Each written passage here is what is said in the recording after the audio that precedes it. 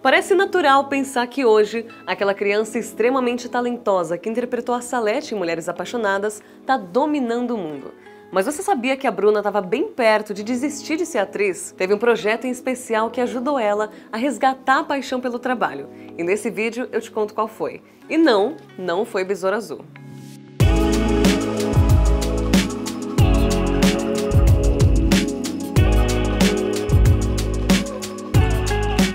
Nos seus primeiros quatro anos de vida, Bruna Marquezine era aquele tipo de criança extrovertida e aparecida, que fazia todos aqueles teatrinhos em casa. Não que ela tenha deixado de se interessar por ser artista, muito pelo contrário é que a partir dos 5 anos ela encontrou outros públicos além dos seus familiares. Nessa idade, uma prima dela estava fazendo curso de passarela e a Bruna foi assistir. Ela ficou tão encantada que insistiu para a mãe que queria fazer esse mesmo curso. A partir daí, tudo aconteceu bem rápido. Quando entrou na sua primeira agência, os pais da Bruna, que aliás se chama Bruna Reis Maia, sugeriram usar o nome da avó dela como nome artístico. Ela adorou e a partir daí ela foi rebatizada como Bruna Marquezine. Antes mesmo de estrear nas novelas, ela já tinha um currículo impressionante, que contava com participações no elenco do programa Gente Inocente, no DVD Xuxa Só Pra Baixinhos 3. Xuxa, conta uma história pra gente, conta.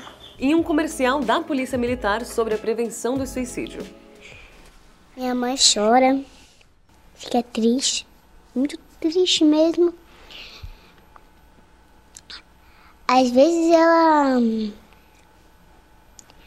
até reza para ele voltar, né? A performance dela nesse comercial foi tão genuína que muita gente achou que o pai dela tinha realmente cometido suicídio. A família até recebeu ligações preocupadas para saber se ele estava bem. Quem também ligou para Bruna por conta desse comercial foi o Manuel Carlos, que estava fazendo seleção para o elenco da novela Mulheres Apaixonadas. A Bruna foi convidada para o papel da Salete e, obviamente, ela aceitou. A atriz conta que a Vanessa Gerbelli, que interpretava a mãe dela, tinha todo um processo quando precisava chorar em cena e levava uns 10 minutos. Já a Bruna tinha muita facilidade e rapidinho já enchia os olhos de lágrimas. Começava a cena, eu já estava chorando muito. Isso aconteceu, a primeira vez que aconteceu, o estúdio ficou assim: Meu Deus, a criança está chorando, a criança está chorando, foca na criança, close na criança, a criança chorou. Depois desse dia, Todos os capítulos ficam assim, Salete chora. Mulheres Apaixonadas foi um sucesso e os choros da Salete renderam bastante destaque para Bruna Marquezine. Ela era claramente uma das melhores atrizes mirins da Globo e por isso ela seguiu engatando uma novela atrás da outra. Ela fez América, Cobras e Lagartos, Desejo Proibido, Negócio da China, Araguaia e Aquele Beijo. Em 2012, aos 18 anos, a Bruna fez Salve Jorge, a novela que marcou a sua transição para uma fase mais adulta, graças ao seu papel como Lurdinha, uma fanqueira que tinha um figurino bem ousado. A personagem foi um dos destaques da carreira da Bruna, tanto para o bem quanto para o mal. Em entrevista à revista Glamour, a atriz contou o seguinte: abro aspas, a primeira vez que me dei conta que era uma mulher e estava sendo objetificada foi quando estava vivendo a Lurdinha. Tinha acabado de fazer 18 anos e a cada semana falavam que eu tinha saído com um cara novo. Não tinha maturidade para lidar com aquilo tudo. Fecho aspas. Ela recebia muitos comentários falando que ela estava magra demais ou que estava gorda e tantos outros de assédio. Nesse período, a Bruna desabafou para os fãs sobre os seus problemas de autoimagem, contando que antes da novela enfrentou depressão e distúrbio de autoimagem, chegando até a tomar laxante para emagrecer essa foi uma fase muito difícil e a Bruna não sabia como lidar com a situação. Abre aspas, deixei de ser criança do dia para noite. Tive que lidar com notícias e agir de forma reativa. Não conseguia ter controle da minha narrativa e isso gerou muita mágoa em mim. Fui aprendendo na marra que quanto mais eu falasse, seria pior. Hoje me respeitam. Fecho aspas. Ela recebeu o apoio de outras atrizes da Rede Globo, como a própria Vanessa Gerbelli, e conseguiu se fortalecer. A sua carreira seguiu nas novelas e entre Em Família e I Love Paraisópolis, a Bruna também fez a sua primeira estreia em Hollywood. Bom, mais ou menos. Ela participou do filme estadunidense Breaking Through, sobre uma dançarina querendo virar famosa na internet. Não, essa dançarina não é interpretada pela Marquezine. A brasileira, na verdade, tem um papel bem pequeno, praticamente uma participação especial. Agora, foi muito legal, foi muito bacana, a experiência foi ótima. Eu acabei de receber o trailer do filme, assim, não pode ser divulgado ainda, mas eu vi e eu hum. apareço por um segundo de costas, eu tô super feliz. Mesmo assim, ela ficou super empolgada com a experiência e disse que ter oportunidade de trabalhar fora do país e em outra língua foi super importante para ela mesmo que não fosse em papel expressivo. Mal sabia ela que dentro de alguns anos ia chegar a vez dela de estrear um blockbuster hollywoodiano. Mas antes disso, ela ainda passar por muita coisa. De volta às novelas, 2018 foi o ano de Deus Salve o Rei, onde Bruna viveu Catarina, a primeira vilã da sua carreira. Esse foi outro ponto de virada para ela, porque a atriz nunca tinha sido tão duramente criticada por um papel antes. A sua performance como Catarina era propositalmente fria, mas as pessoas batiam muito na tecla de que ela estava atuando de forma robótica. As críticas foram tantas que a Bruna começou a questionar sobre a sua própria capacidade, até porque ela mesma não estava tão orgulhosa do trabalho. A crise de impostor bateu forte e a Bruna não sabia mais se queria ser atriz. Ela não desistiu da carreira, mas fez uma mudança drástica e encerrou seu contrato com a Globo depois de 17 anos de casa. Considerando que toda a sua carreira e a maior parte da sua vida aconteceram enquanto ela era contratada da emissora, foi uma grande grande surpresa quando ela trocou a TV aberta pelos streamings.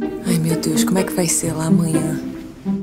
Ai, esqueci de perguntar pro Galhaço sobre o Vale Refeição. A Bruna assinou com a Netflix e a sua primeira série na nova casa foi Maldivas. Ela estrelou o mistério ao lado da sua amiga Manu Gavassi e da Vanessa Gerbelli, que interpretou a sua mãe, 19 anos depois dela ter interpretado a mãe da Bruna lá em Mulheres Apaixonadas. A série não correu exatamente como esperado. A produção passou pelos seus perrengues e chegou até a ser pausada, tudo por conta da pandemia. Depois do lançamento, Maldivas até conquistou bastante fãs, mas aparentemente não foi o suficiente para a Netflix, que cancelou a série depois de uma única temporada. O outro projeto que ela fez com streaming foi uma série de ficção científica chamada Conquest, que seria ambientada em um futuro distópico e protagonizado pelo Keanu Reeves. A Bruna Bruna foi parar nessa série porque uma das produtoras executivas cresceu no Brasil. Ela só conseguia imaginar a Bruna no papel de determinada personagem. Parecia uma ideia muito legal e tinha tudo para ser um dos projetos mais interessantes da carreira da Bruna. Mas assim como Maldivas, também foi pausado por conta da pandemia.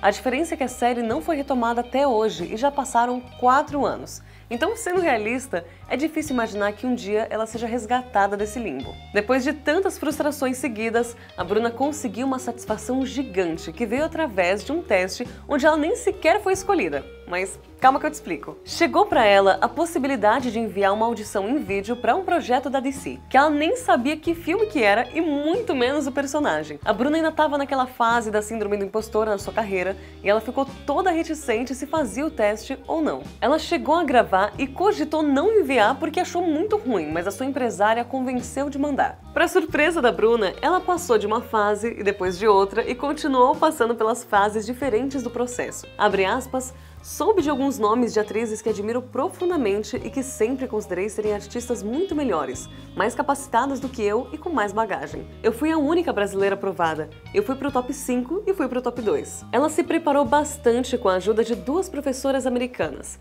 com quem ela fazia aula desde a produção de Conquest. Uma professora era preparadora de sotaque e a outra era de atuação. As aulas ajudaram bastante quando, durante todo esse processo do filme da DC e da Bruna, que tinha achado sua performance nas primeiras fases de teste ruins, diz que no final do processo já estava muito mais confiante. Quando chegou na última etapa, ela saiu super elogiada de um teste de química com Ezra Miller, que protagoniza o Flash. Mas mais do que isso, ela saiu orgulhosa do próprio trabalho, sabendo que tinha feito tudo que pôde. Não me importa, de, eu falava do fundo do meu coração, e não tô dizendo isso para já começar a me preparar. Eu tô dizendo porque do fundo do meu coração não me importa se eu peguei esse papel ou não. Eu recuperei uma coisa que eu é. perdi há muito tempo e eu. E me fazia muita falta. Acreditar em mim enquanto profissional e não depender constantemente da validação do Dos outro. Outros. E isso é impagável. Ser escalada seria a cereja do bolo, mas acabou não rolando.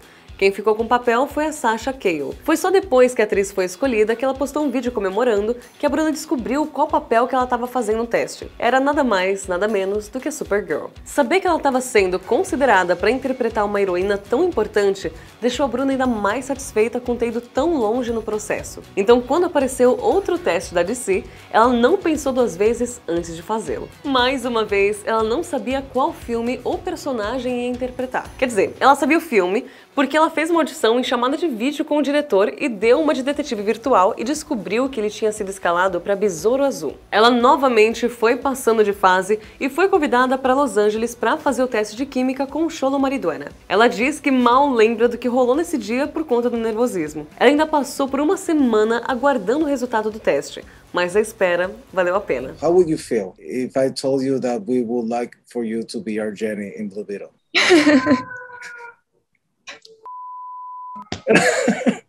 Okay. Um, do I do I have do I still have to answer the question? I would feel so grateful. A Bruna diz que se sentiu muito confortável com o set de gravação, até porque tinham muitos latinos trabalhando no filme e tinha uma dinâmica muito familiar entre a equipe. Quando finalmente foi revelado que ela seria a Jenny, a protagonista feminina de Besouro Azul, o Brasil todo ficou orgulhoso. De repente, a Salete, aquela garotinha que a gente viu crescer nas nossas televisões no decorrer de 20 anos, agora estava em Hollywood. A expectativa de ver Bruna brilhando em tapetes vermelhos em entrevistas com veículos gringos, infelizmente não vai se concretizar, mas por um motivo maior. O Sindicato dos Atores de Hollywood está em greve e uma das suas regras é que os atores não podem participar de eventos de divulgação dos filmes. A Bruna postou nas suas redes uma mensagem de apoio à paralisação e também um apelo para os fãs que vão assistir o filme no cinema. Abre aspas, estarei sempre ao lado de iniciativas que lutem pelo progresso da comunidade artística seja no meu país ou no exterior. Como os atores não podem mais participar de qualquer divulgação dos seus projetos até o fim da greve, o apoio dos fãs vai ser fundamental para trazer visibilidade e reconhecimento que Besouro Azul merece. Sempre serei grata à minha família Besouro Azul,